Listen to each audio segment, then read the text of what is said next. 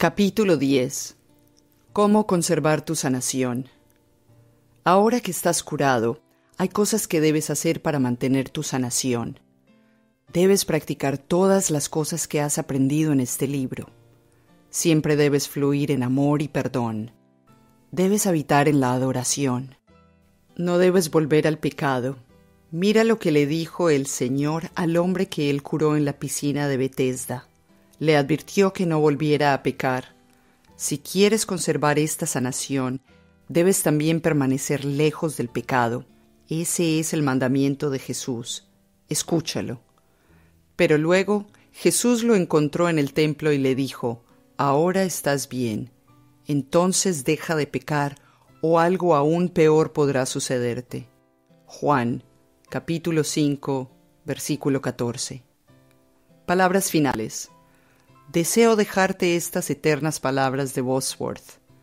Al mismo tiempo que nos regocijamos en estos milagros, recordemos que son solamente manifestaciones externas de un milagro mil veces mayor y más precioso que ha transpirado dentro de la habitación sagrada del hombre interior. La causa interior es tanto más preciosa que el efecto externo. Los resultados físicos de la oración, por ejemplo la sanación, son como números en una chequera que muestra que tienes oro depositado en el banco. El oro es más valioso que los números. Reverendo Bosworth. Oración de agradecimiento.